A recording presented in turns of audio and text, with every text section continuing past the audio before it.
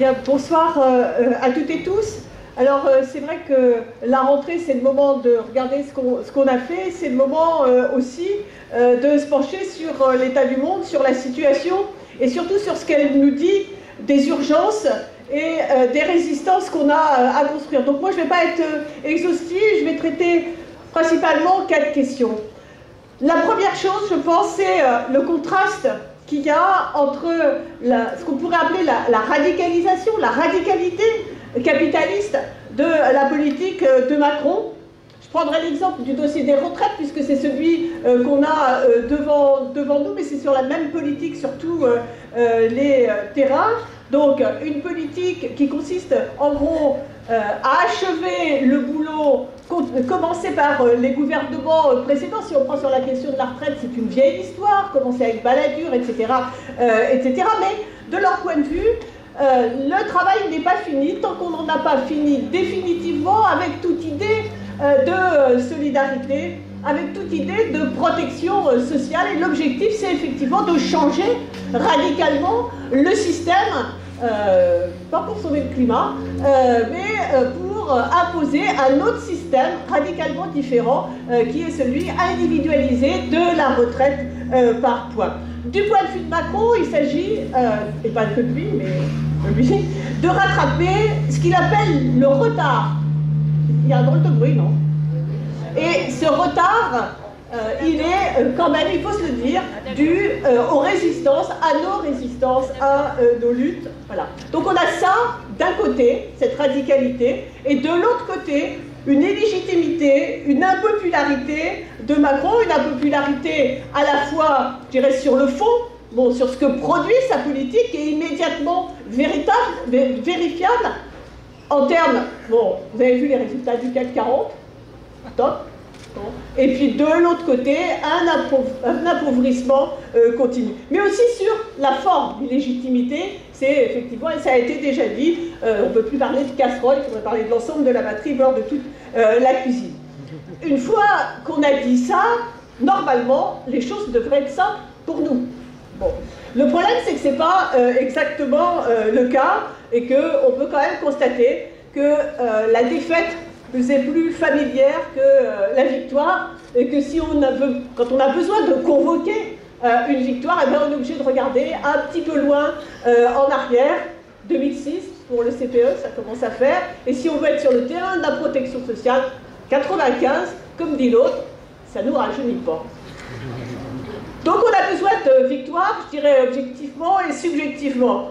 On a besoin de victoire parce qu'il faut arrêter la dégradation, et à un moment, trop, trop c'est trop. Mais on a aussi besoin de victoire parce qu'on a besoin de reprendre confiance dans l'efficacité, dans l'utilité du combat collectif. Et de ce point de vue-là, c'est un énorme problème pour nous. Il y a évidemment beaucoup de mal à dire de la stratégie euh, des euh, organisations, du mouvement ouvrier, des problèmes à la fois sur le fond et euh, sur la stratégie, mais le point des défaites il n'est pas négligeable non plus de notre côté. Parce qu'il faut retrouver un peu le sens des mots. Si on prend sur la question des retraites, une victoire, ce serait l'abandon du projet de Macron.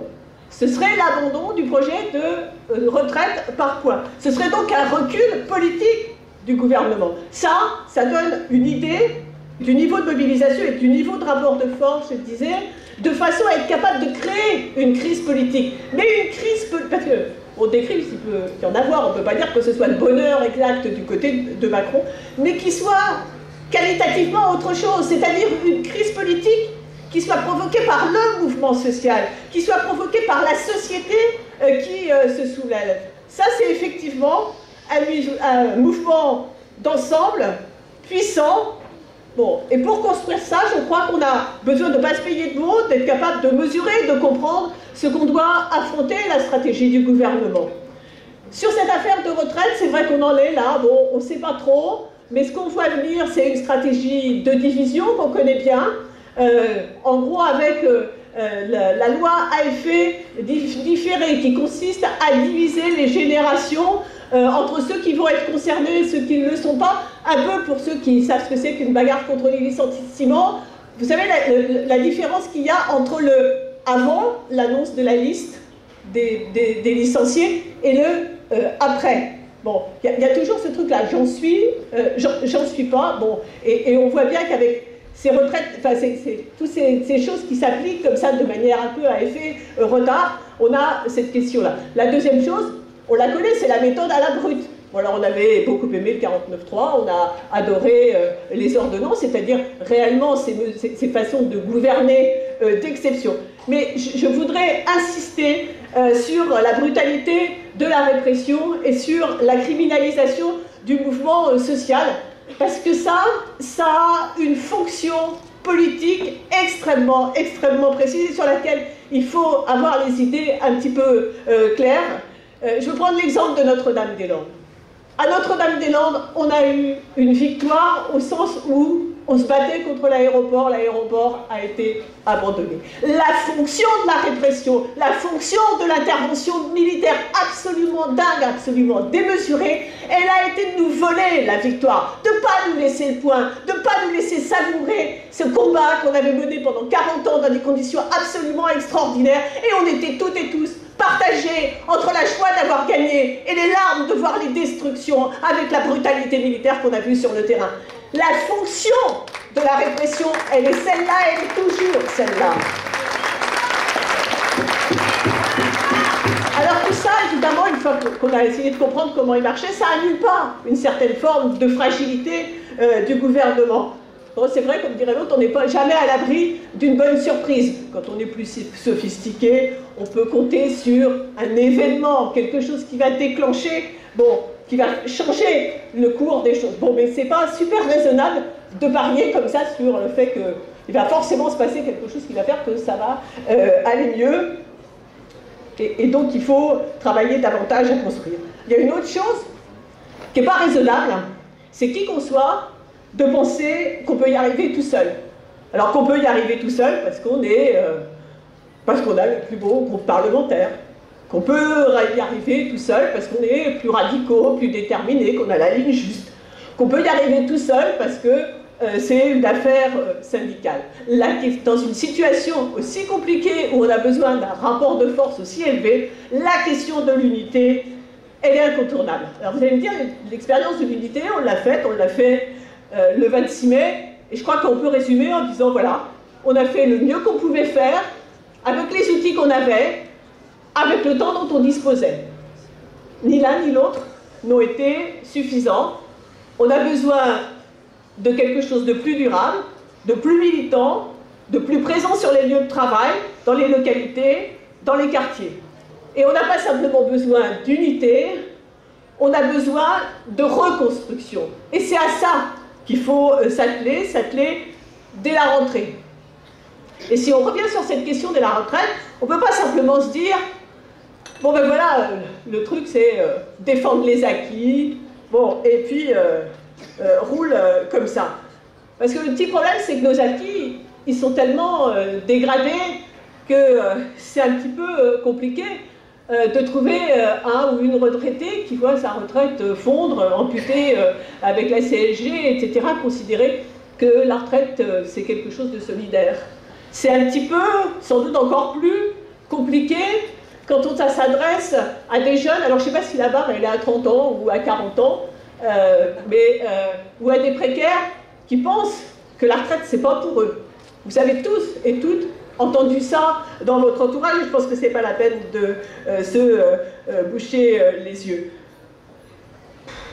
C'est encore plus compliqué de convaincre que, par exemple, ce système de protection sociale, c'est quelque chose de démocratique, ou c'est quelque chose de vraiment euh, euh, solidaire. Donc voilà, évidemment, il faut refuser euh, la dégradation, redonner un sens et un contenu à ce qui est réellement la protection sociale, à ce qui est le salaire socialisé, mais sans doute qu'il faut revivifier ça et au-delà, avancer sur les logiques de socialisation, sur les logiques d'autogestion, sur les logiques de commun. La dernière chose que je voudrais dire sur ce sujet-là, c'est que par rapport à cette mobilisation, je pense qu'il y a une dimension qui est absolument essentielle et qui est immédiatement perceptible. Parce que retraite par quoi Machin, patin, coup fin, c'est un tout petit peu compliqué. Il y a une chose qui est certaine, c'est la dégradation absolue du niveau de retraite des femmes, qui sont déjà extrêmement pénalisées. Une grande partie des femmes finissent leur vie dans la misère.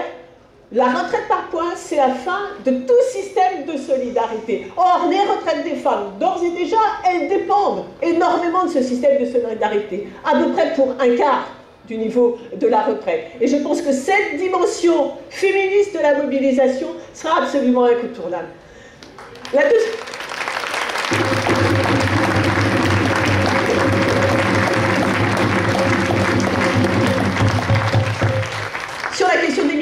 Choses ont déjà euh, été dites, mais je pense qu'il faut le dire, il faut le répéter. Il n'y a pas de crise migratoire. Un migrant, une migrante, la moitié des migrants sont des migrantes. Mais un migrant, c'est vachement plus inquiétant qu'une migrante. Réfléchissez euh, à ça. Donc un migrant, une migrante, c'est quelqu'un qui quitte le lieu où il vit pour aller vivre ailleurs en espérant que ce sera mieux. La majorité des migrants et des migrantes sont des migrants et des migrantes dans leur propre euh, pays. Bon, et quand on parle de migrants euh, internationaux, évidemment, il y a une partie de ces migrants et de ces migrantes qui migrent euh, librement, je dirais volontairement, et c'est bien, et tant mieux. Mais il y a une partie, une grande partie de ces migrants qui migrent tout simplement parce qu'il y a des parties du monde dans lesquelles on ne peut plus vivre, ou au moins on ne peut plus vivre dignement, on ne peut plus vivre librement. Et donc la crise, elle n'est pas une crise migratoire, elle est une crise du non-accueil. Elle est une crise du refus d'accueillir. Et en plus, politiquement, elle est la création d'un problème public, d'un problème politique à l'échelle du monde. Avec euh, la création un peu euh, de quelque chose qu'on connaît bien. Vous savez, on a beaucoup parlé de cette euh, création des classes dangereuses. Et maintenant, on a une création artificielle de ces classes dangereuses, mais à l'échelle du monde et qui sont assignés à résidence, mais à l'échelle du monde. C'est aussi ça, la mondialisation capitaliste. Et donc, euh, on retrouve, y compris la même logique, celle où on a des victimes, en l'occurrence des victimes d'un héritage colonial, la victime des pillages et des guerres impérialistes, les victimes des bouleversements euh, climatiques, ces demandeurs, ces demandeuses de, de refuge, ne peut pas les appeler des réfugiés puisque l'essentiel d'entre eux ne sont pas reconnus comme des réfugiés, eh bien ces victimes sont en fait désignées comme euh, des euh, menaces. Voilà, donc face à ça, on en a déjà parlé, mais euh, on ne peut pas tortiller, on ne peut pas hésiter, c'est la liberté de circulation, la liberté d'installation et l'égalité intégrale, indiscutable de tous les droits. Je pourrais vous dire, pour la troisième année de suite, je crois que c'est l'année la plus chaude depuis qu'on mesure euh, tatati. C'est vrai. À une différence près, c'est que dans les deux années euh, d'avant, on pouvait en partie euh, imputer cette chaleur au phénomène El Niño. Ah, mais c'est fini. C'est plus El Niño, donc là c'est encore un petit peu plus sûr. Mais en fait, je ne vais pas faire ça. La température moyenne de la Terre, en fait, elle a augmenté de 1 degré depuis l'ère pré-industrielle. Alors, 1 degré, en général, je me brûle dans les chiffres, donc 1 degré, je suis tranquille, c'est le truc assez facile, donc je ne peux pas... De... Mais ce qui est compliqué, c'est que 1 degré, c'est à la fois beaucoup et peu.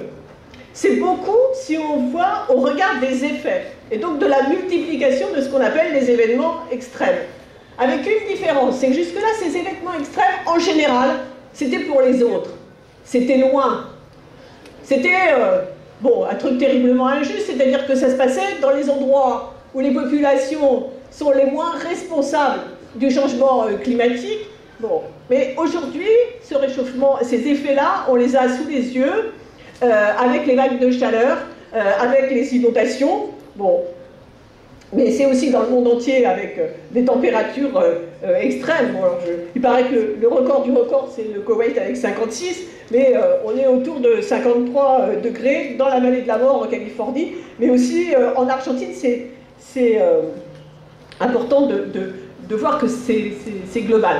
C'est les sécheresses, les incendies, donc vous avez vu, en Grèce, en Californie, je dirais ça on a déjà vu, ce qui est plus euh, étonnant, enfin plus étonnant pour nous, c'est la Suède, la Lettonie, la Sibérie.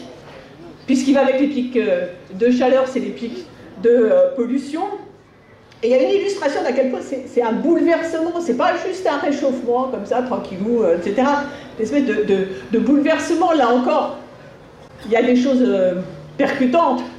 C'est aux États-Unis. Aux États-Unis, on a du côté ouest des incendies, voilà, et, des incendies tellement puissants qu'on n'arrive pas à les maîtriser et qui vont lécher d'une certaine manière un petit peu le, cœur de la bête de ce capitalisme triomphant qu'est la Silicon Valley. Mais de l'autre côté, eh ben, en fait, c'est la pluie, les inondations, euh, l'eau qui cause euh, les, euh, les, problèmes. Bon, tout ça évidemment avec des effets humains, sociaux et sur la biodiversité. C'est 1%, c'est une moyenne. Ces 1%, ils ne sont pas uniformes, puisque le Groenland, l'Antarctique, se réchauffe en fait deux à trois fois trois fois plus vite que euh, cette euh, moyenne. On a atteint 30 degrés euh, en, Laponie norvégienne cet été. Ça, c'est spectaculaire. le problème principal, c'est que le réchauffement dans ces régions-là en fait, est en fait celui qui est le plus lourd de bouleversements irréversibles. Je prends que l'exemple de la dislocation possible de la calotte glaciaire, et là, ça provoquerait une élévation du niveau des océans qui, elle, n'est pas réversible. C'est-à-dire après, on peut toujours faire beaucoup de choses, mais on ne va pas faire reculer euh, les, océans. Ben, un, degré, c'est beaucoup, mais c'est aussi peu. Euh, c'est aussi, c'est surtout peu par rapport à ce qu'on a devant nous, puisque dans le meilleur des cas, si la COP21 avait servi à quelque chose, si l'accord de Paris euh, fonctionnait, euh, ce serait de toute façon plus de 3% d'augmentation moyenne. Voilà, donc c'est dire l'urgence. Bon, il faut absolument que cette dimension-là soit ultra présente. Il va sans doute y avoir un, choc assez profond au moment où le GIEC va rendre son prochain rapport en octobre 2018. Il faut absolument être au rendez-vous euh, pour euh, euh, intervenir sur cette question-là. J'ai gardé pour la fin le plus enthousiasmant, ce qu'on pourrait appeler une sorte de printemps, même si ça dure beaucoup plus qu'une saison, le printemps des luttes féministes, une sorte de révolution des filles. Alors bon, évidemment, on était un peu... Bon, c'était un un peu lourd. Le vote des sénateurs argentins contre le projet de légalisation de l'avortement, parce que bon, on y a vraiment cru euh, euh, avec elle. Bon, mais il n'empêche que c'est un phénomène euh, international, une vague de fond et, une vague sur, sur tous les terrains, sur tous les terrains de l'oppression, des discriminations, des violences. Contre le viol, contre les féminicides, on a eu Ni Una Menos, né en Argentine, et puis qui s'est répandu en Uruguay, dans l'État espagnol, au Chili, au Pérou. Et dans le même temps, les combats sur le droit de choisir dans les pays où il n'y a pas euh, l'avortement, j'ai parlé de euh, l'Argentine, c'est aussi euh, le Chili, mais cette victoire en, Irlande, deux tiers en faveur du oui, bon, il n'y a pas que ça qui a ébranlé l'Église catholique, mais quand même, ça dit quelque chose de la puissance du droit des femmes à décider de comment ça, bouge, les, ça bouge les, les choses. C'est aussi une mobilisation euh, sur euh, tout ce qui est la précarité euh, de nos vies au travail, mais pas seulement. C'est une mobilisation qui, invente des formes d'action, qui réinvente ce qu'est la grève. Puisque pour les femmes, le travail, c'est pas que le travail salarié, et bien la grève des femmes, c'est pas que la grève du travail salarié, c'est aussi la grève du travail domestique et la grève de la consommation. Et tout de suite, ça dit autre chose de ce que sont nos luttes et nos mobilisations, parce que nos vies ne euh, se découpent pas euh, euh, en, tranches, que le, capital, le capitalisme et le patriarcat détruit l'ensemble des aspects de nos vies, et, le mouvement, cette nouvelle vague, ce féminisme des couches populaires, ce féminisme d'une nouvelle génération, elle embrasse d'emblée l'ensemble de, euh, ces dimensions, et c'est sans doute ce qu'il y a de plus enthousiasmant dans ce qui se passe euh, aujourd'hui. Donc voilà, vous l'aurez compris, on ne peut pas parler des retraites sans parler de la situation des femmes, on ne peut pas parler des réfugiés sans parler du climat, et on ne peut pas parler du climat sans parler des réfugiés, etc. etc. La liste pourrait euh, être longue. Et ceux qui prétendent défendre les salariés au détriment des migrants et des migrantes. Évidemment, ils abandonnent les migrants et les migrantes, mais dans le même temps, ils abandonnent aussi les salariés qui prétendent défendre et ils les abandonnent à leurs pires ennemis.